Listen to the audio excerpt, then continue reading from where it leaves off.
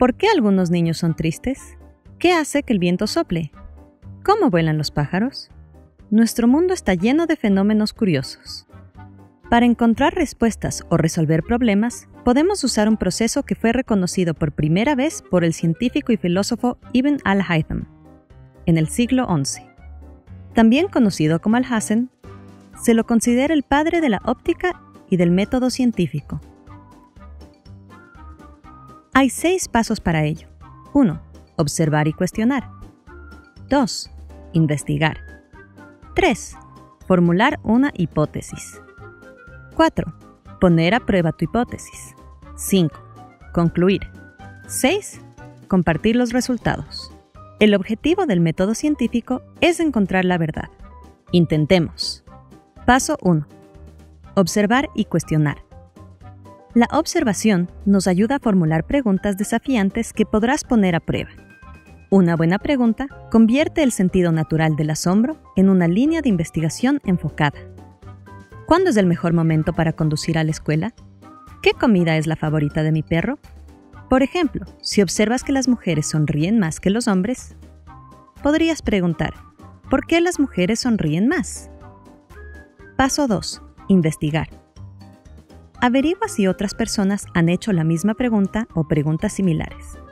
Si investigas en línea, utiliza términos de búsqueda como estudio, investigación o metaanálisis, que es un resumen de la investigación sobre un tema específico.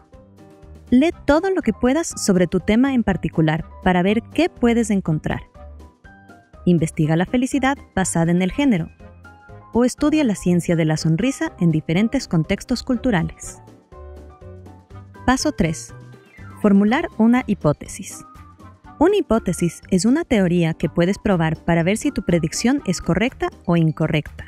A partir de tu observación, has notado que las mujeres sonríen más a menudo y que las personas que sonríen parecen estar felices. Por tu investigación, sabes que hay diferentes tipos de sonrisas, tímidas, genuinas y falsas. En un artículo leíste que las bebés sonríen con más frecuencia que los bebés. He aquí una hipótesis. Las mujeres sonríen más que los hombres porque son más felices que los hombres. Paso 4. Probar tu hipótesis. Cuando pruebes tu hipótesis, querrás asegurarte de hacerlo de manera justa y que las condiciones sean constantes.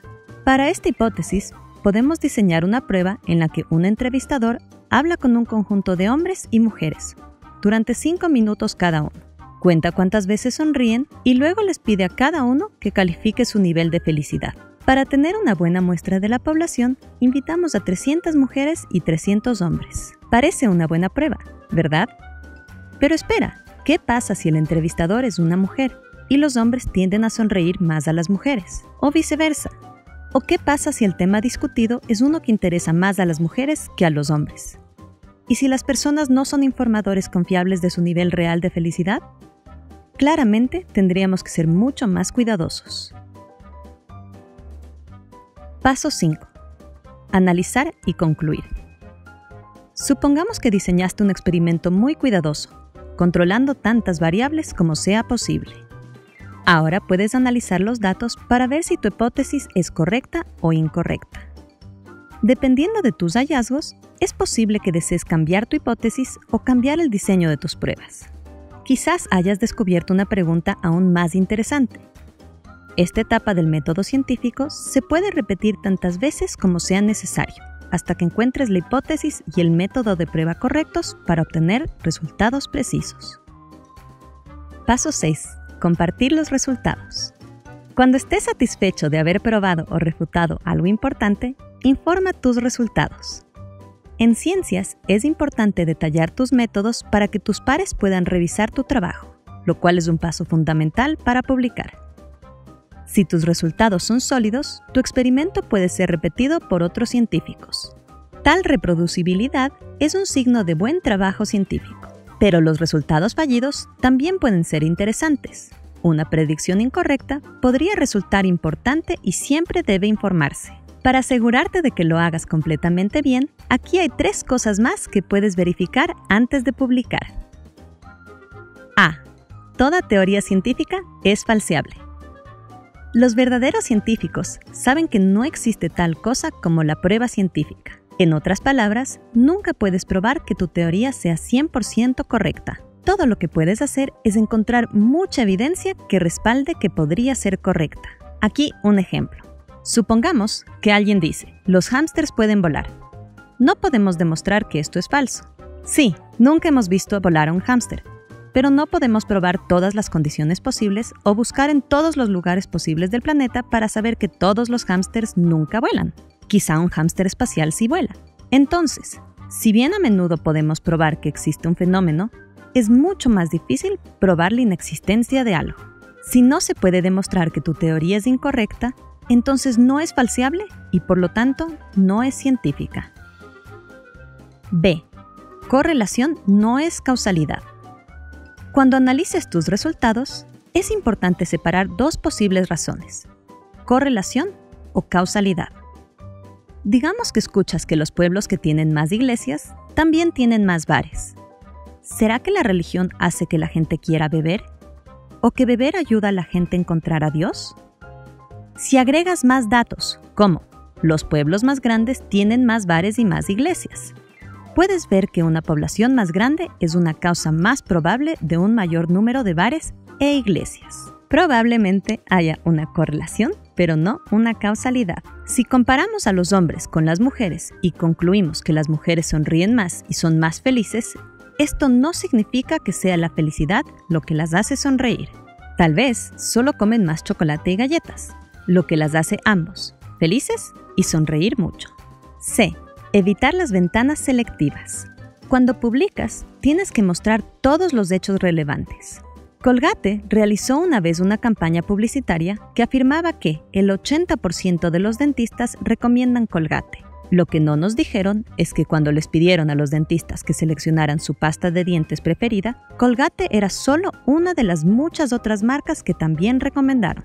Posteriormente, Colgate fue demandada y obligada a retirar sus anuncios engañosos. El propósito de la ciencia es siempre encontrar la verdad, y nada más que la verdad. Usar la ciencia para engañarnos es una práctica comercial incorrecta y terrible. Hagamos un último ejemplo juntos. Tengo dos monedas. Una es más grande. ¿Por qué? La moneda pequeña dice un centavo. La más grande, cinco. Ajá, las monedas pequeñas valen menos dinero. Las monedas más grandes valen más dinero. Saco algunas monedas más de mi bolsillo. Dos centavos más, un níquel más y un cuarto de dólar, que son 25 centavos. Genial. Mi hipótesis parece cierta. Pero espera, ¿la moneda de 25 centavos vale más porque es más grande? Entonces, ¿es una correlación o una causalidad? Hmm, el tamaño de mi muestra es bastante pequeño, no creo que esté lista para informar mis resultados. ¿Puedes ayudar? Aplica el método científico para estudiar tu moneda local. Tal vez tengas una hipótesis que podamos probar hasta que obtengamos resultados sólidos y repetibles para informar. Por favor, publica tus hallazgos en los comentarios a continuación.